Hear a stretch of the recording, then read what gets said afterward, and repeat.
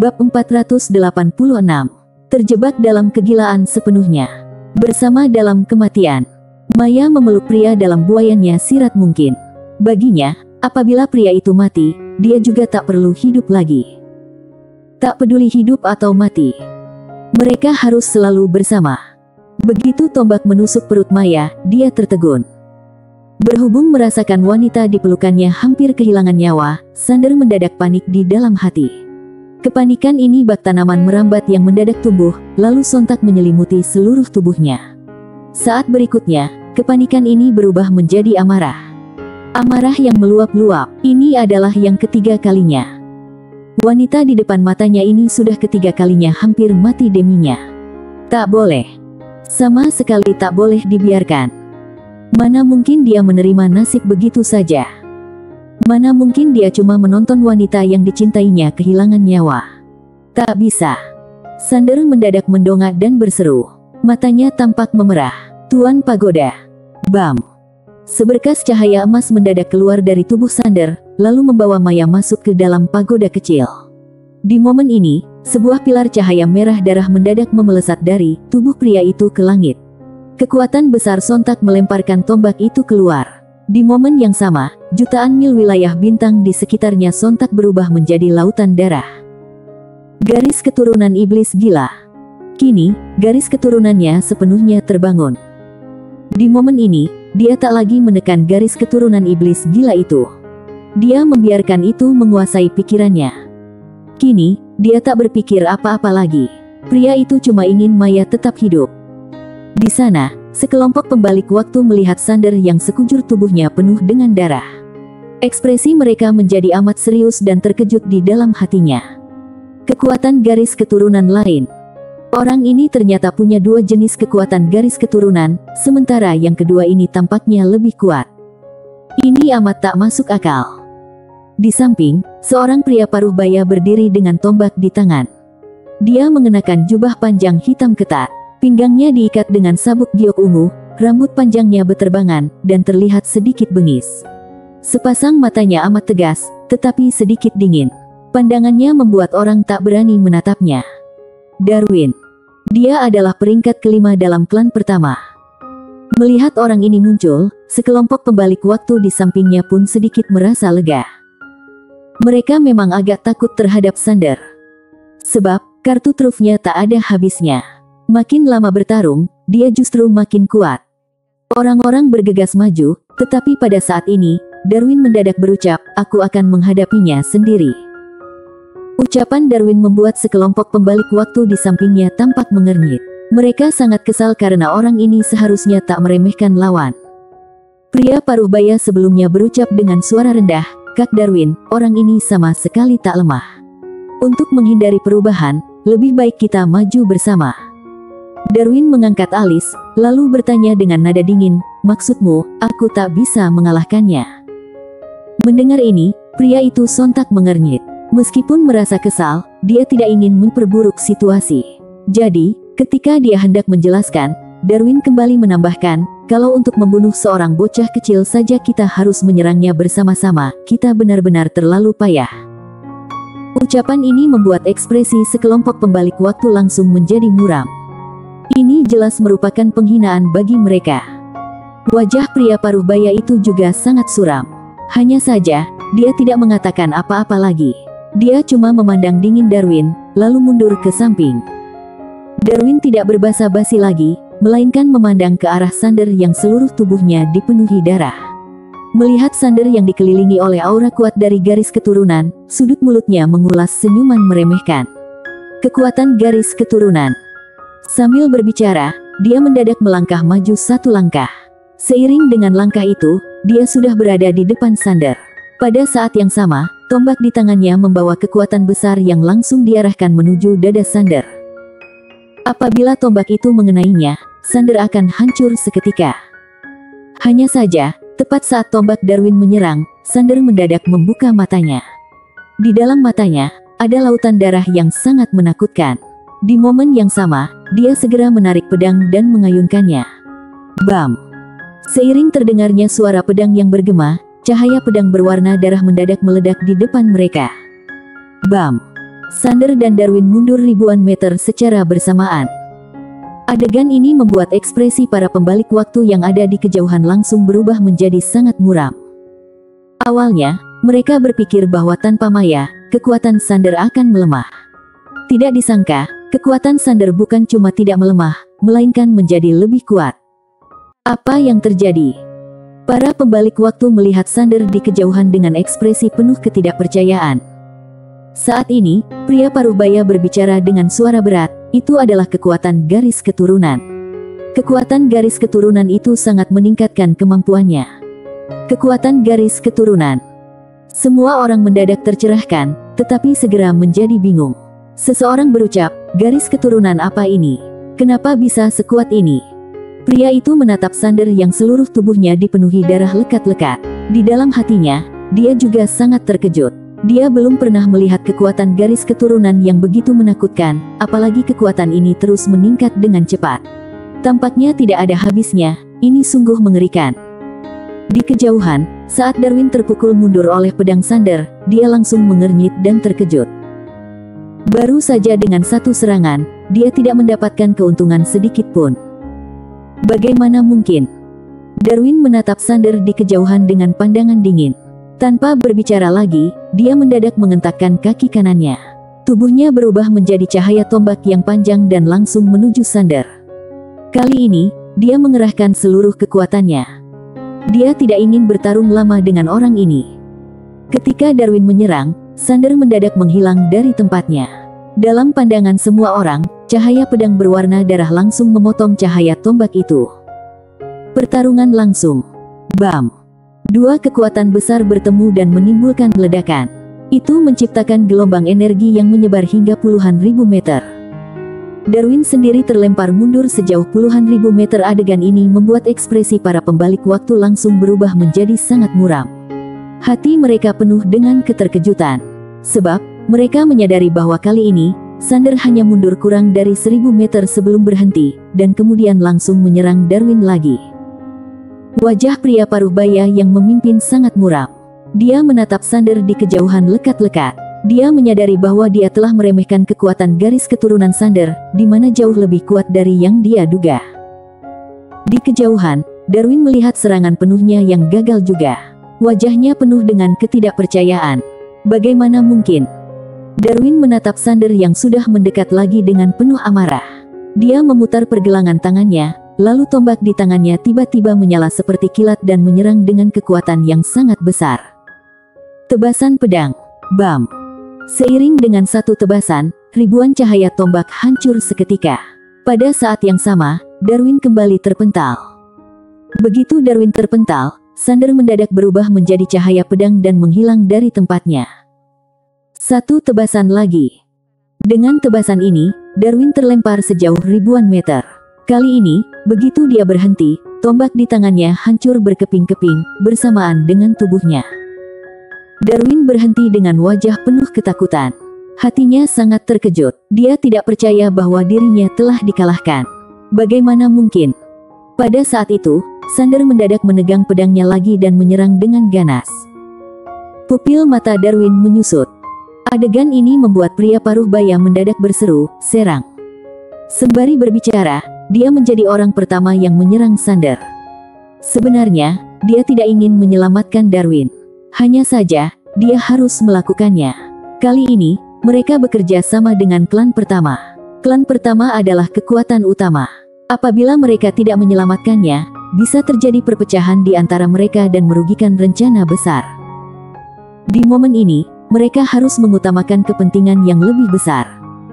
Melihat pria paruh baya itu menyerang, Para pembalik waktu lainnya juga segera bergegas menyerbu Sander di kejauhan.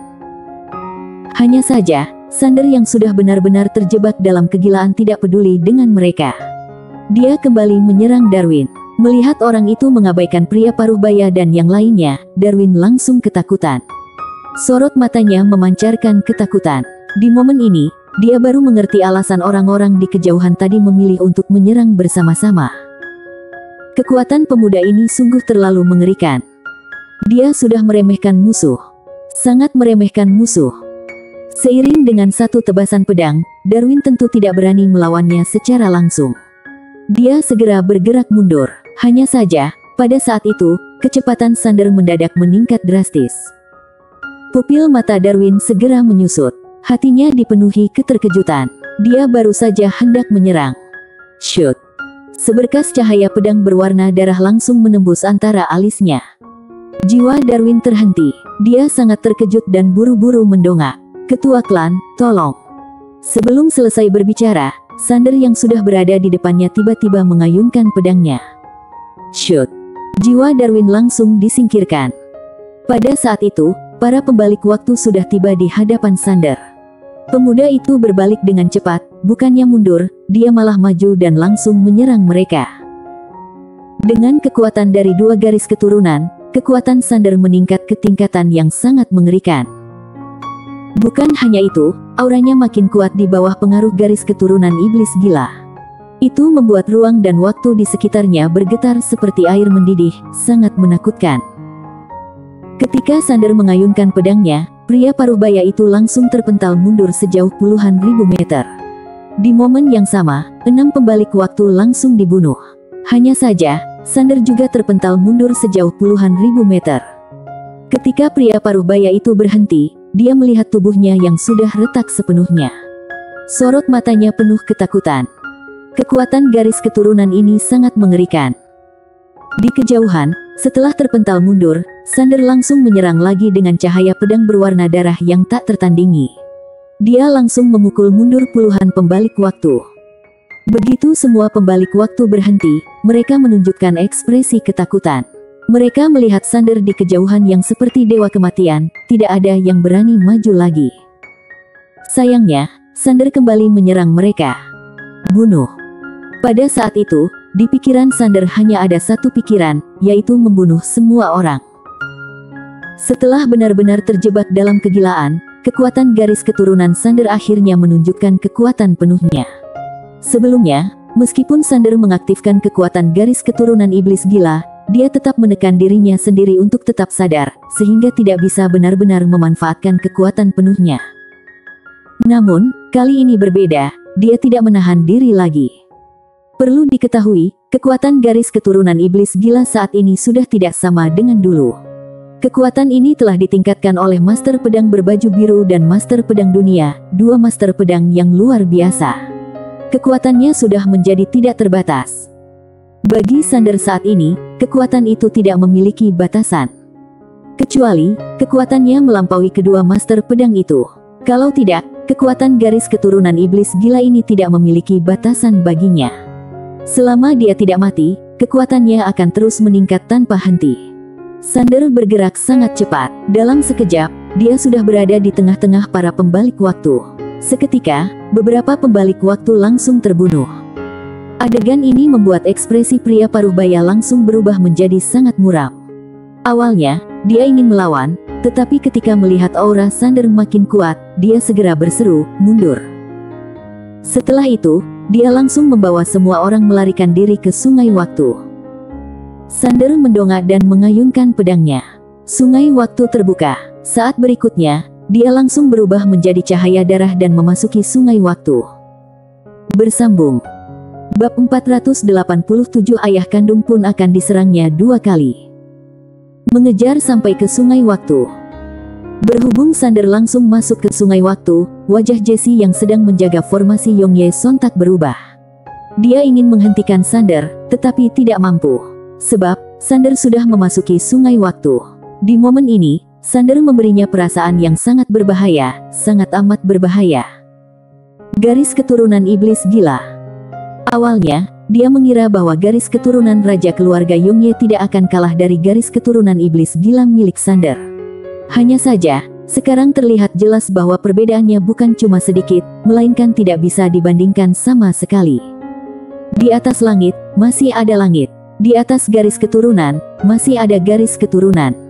Berhubung teringat dengan sesuatu, Jesse mendadak mendongak dan melihat ke kedalaman ruang. Di sana, Gabi masih bertarung sengit dengan Travis.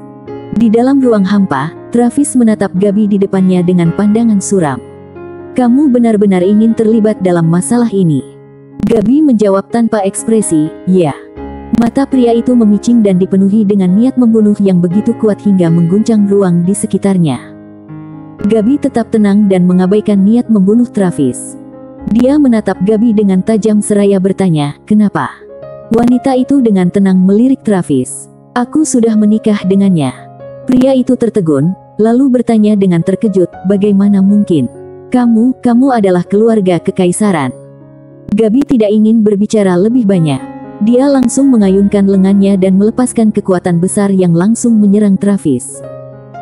Begitu Sander masuk ke sungai waktu, dia langsung melawan arus waktu. Dia mengejar dan menyerang para pembalik waktu yang melarikan diri. Berkat bantuan pohon nyata dan pohon keramat alam, luka-lukanya hampir pulih sepenuhnya. Energi suannya juga menjadi tak terbatas, seolah tidak pernah habis. Kini, wajah para pembalik waktu sangat suram. Dari sekitar 300 orang, kini hanya tersisa 230 orang. Satu orang mengejar 300 orang. Ini benar-benar keterlaluan. Begitu melihat Sander masuk ke sungai waktu, pria paruh baya dan lainnya sangat terkejut. Apakah orang ini gila? Di samping pria itu, seorang pria tua berucap dengan suara berat, di tempat ini, kekuatan kita tidak ditekan. Jelas, ini menunjukkan bahwa mereka tidak ingin melarikan diri, melainkan ingin bertarung. Pria paruh baya menatap kejauhan. Di kejauhan sungai waktu, bau darah yang menyengat mengalir seperti gelombang. Dia menatap ke kejauhan tanpa berkata apa-apa. Pria tua itu melanjutkan, ratusan orang gagal melawan satu orang, malah dikejar. Kalau ini tersebar, bagaimana dengan martabat kita? Ketika dia melontarkan kata-kata itu, wajahnya berubah garang. Wajah para pembalik waktu lainnya juga sangat suram. Mereka bukan orang sembarangan, melainkan para ahli super dari berbagai zaman. Apabila hal ini tersebar, mereka akan menjadi bahan tertawaan dalam sejarah sungai waktu. 300 orang melawan satu orang, malah dikejar olehnya. Mereka tidak sanggup kehilangan harga diri seperti itu. Ketika pria paruh baya itu ragu-ragu, seseorang mendadak berucap, garis keturunan Sander sangat istimewa. Auranya makin kuat, tapi pasti akan melemah. Kita cuma perlu menahannya. Tidak lama kemudian, dia pasti akan terpengaruh oleh garis keturunannya sendiri dan mati meledak. Mendengar ini, beberapa pembalik waktu mengangguk setuju. Garis keturunan Sander memang kuat, tetapi peningkatan ini pasti akan berbalik menghancurkannya jika dibiarkan terlalu lama. Pada saat itu, gelombang niat membunuh yang kuat datang dari kejauhan. Semua orang menatap ke kejauhan. Di ujung pandangan mereka, seorang pemuda berlumuran darah sedang berlari ke arah mereka. Melihat Sander saat ini, para pembalik waktu itu menunjukkan ekspresi yang sangat serius. Pria itu memancarkan aura darah yang menakutkan dan membuat orang merasa ngeri. Di momen ini, salah satu dari para pria tua berucap dengan serius, formasi sudah lenyap. Kekuatan kita telah pulih, kita tidak takut padanya lagi. Serang. Kemudian, dia langsung meluncur keluar. Adegan ini membuat para ahli lainnya juga segera ikut menyerang. Dari awal sampai sekarang, mereka merasa sangat tertekan. Apabila melarikan diri sekarang, mereka bahkan akan merendahkan diri sendiri. Seorang pemuda mengejar ratusan orang seperti mereka. Mereka tidak dapat membiarkan hal ini terjadi. Mereka akan selesaikan ini. Lebih dari 200 ahli top tidak mundur, sebaliknya malah langsung menyerang Sander yang jauh di sana. Aura kuat yang mereka pancarkan langsung membuat sungai waktu di sekitar mereka bergejolak. Serang. Salah satu pihak harus musnah hari ini. Pada saat itu, tubuh Sander mendadak menjadi samar. Adegan ini membuat ekspresi para ahli pembalik waktu langsung berubah dramatis. Mereka tahu bahwa Sander akan menggunakan serangan terbesarnya. Mereka sangat khawatir dengan dua keterampilan pedang Sander. Sebab, sebelumnya, para pembalik waktu yang mati adalah korban dari keterampilan pedang Sander. Bersikap keras kepala akan berakhir dengan kematian. Mereka segera mengubah taktik mereka dari menyerang menjadi bertahan. Ratusan ahli tersebut bergabung untuk membentuk perisai cahaya, tetapi begitu perisai cahaya terbentuk, ribuan sinar pedang tiba-tiba muncul, dan kemudian berkumpul menjadi serangan yang menghancurkan. Bam! Pelindung itu gemetar hebat, lalu langsung hancur. Kekuatan besar langsung mengirim puluhan ahli di belakang pelindung terlempar ribuan meter ke belakang. Di momen yang sama, seberkas cahaya darah mendadak muncul. Pria paruh baya yang memimpin itu berseru, serang. Seiring terdengarnya ucapan itu, mereka langsung meluncur menuju Sander. Hanya saja, begitu mereka mencapai Sander, seorang pembalik waktu langsung dihancurkan oleh sinar pedang. Darah yang dipancarkannya segera diserap oleh garis keturunan Sander. Mengisap darah. Usai membunuh pembalik waktu itu, Sander menggerakkan pergelangan tangannya dan pedang suci Suanyuan di tangannya mendadak meledak dengan energi pedang berwarna darah. Bam! Satu pembalik waktu lagi-lagi terbunuh. Hanya saja, pada saat ini, puluhan aura kuat langsung menekan Sander. Sander tiba-tiba berteriak, dalam sekejap, kekuatan misterius tiba-tiba muncul di sekitarnya. Domain pedang. Ketika domain pedang muncul, semua kekuatan kuat tersebut langsung ditekan. Sebelum para ahli pembalik waktu bisa merobek domain, Sander lagi-lagi berubah menjadi sinar pedang dan langsung meluncur menuju beberapa pembalik waktu terdekat. Pedang terhunus. Jurus menebas langit menghunus pedang. Seiring dengan satu tebasan, beberapa pembalik waktu yang mengadang Sander langsung terlempar. Sementara itu, kekuatan besar langsung merobek sungai waktu di depan mereka. Pada saat itu, sebuah tombak panjang mendadak menusuk punggung Sander. Lebih dari seratus aura kuat langsung menekan ke arahnya dan menekannya di tempat. Sander memandang tajam. Seiring dengan tangan kirinya yang meremas erat, dia menjerit dengan emosi. Ribuan energi pedang berwarna darah tiba-tiba meluncur keluar dari tubuhnya. Semua ini disatukan oleh niat pedang. Bam! Dalam sekejap, aura para ahli tersebut langsung dihancurkan oleh serangan pedangnya. Pada saat itu, tombak panjang itu menembus punggungnya. Sander tiba-tiba berbalik dan melancarkan serangan pedang. Bam! Pembalik waktu di depannya langsung terlempar oleh serangan ini. Ketika dia terlempar, dagingnya hancur berkeping-keping dalam perjalanan. Pada saat yang sama, puluhan aura besar langsung menekan Sander. Bam! Sejumlah besar energi pedang berwarna darah hancur. Sander langsung terpental ribuan meter ke belakang. Bahkan sebelum berhenti, sebuah tanda tinju setinggi ribuan meter tiba-tiba menekan dari atas kepalanya. Sander membuka telapak tangannya. Pedang Suanyuan di tangannya meluncur ke langit dan seketika menghancurkan tanda tinju itu. Sayangnya, pada saat berikutnya, lebih banyak kekuatan dahsyat menuju ke arahnya. Sander tiba-tiba meluncur maju. Pedang suci Suanyuan di tangannya berayun liar. Serangkaian energi pedang berwarna darah terus dilancarkannya bak hujan deras dan mengepung para ahli pembalik waktu di depannya. Pada saat ini, kedua belah pihak sudah berdarah-darah. Mereka sungguh tidak ingin berhenti sebelum matil. Hanya saja, Sander makin bersemangat saat bertarung. Yang terpenting, makin bertarung, dia menjadi makin kuat. Sebab, Kekuatan garis keturunan iblis gilanya terus meningkat secara tak terkendali.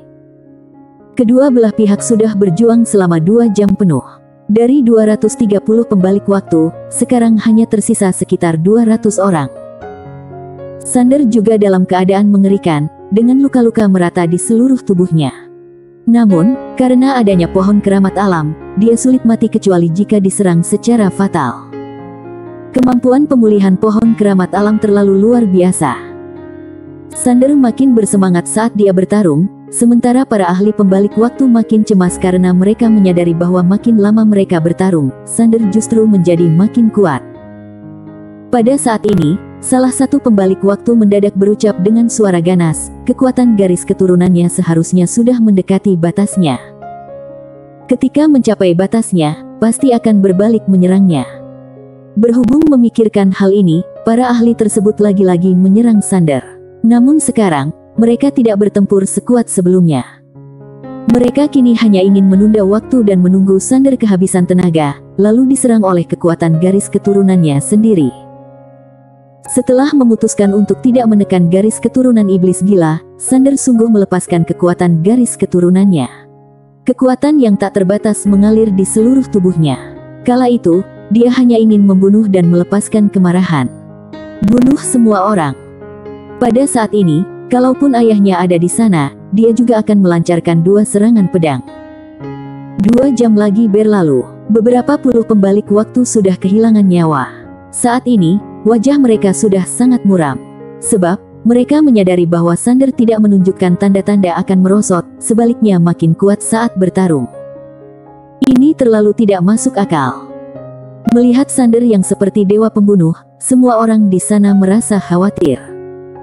Awalnya, mereka bertekad tanpa pamrih dan bertarung sampai mati. Hanya saja, seiring bertarung, mereka menyadari bahwa pria di depan mereka makin kuat. Kekuatan garis keturunannya tidak kunjung habis, bahkan kekuatan pedang Sander juga makin dahsyat, dengan tanda-tanda akan mencapai puncak. Begitu menyadari hal ini, ekspresi para ahli pembalik waktu menjadi makin suram. Bam! Pada saat itu, Sander mendadak menyerang dengan pedang. Dia memaksa belasan ahli pembalik waktu di depannya mundur. Para ahli pembalik waktu memanfaatkan kesempatan ini untuk mundur beberapa puluh ribu meter dan menjaga jarak dari Sander.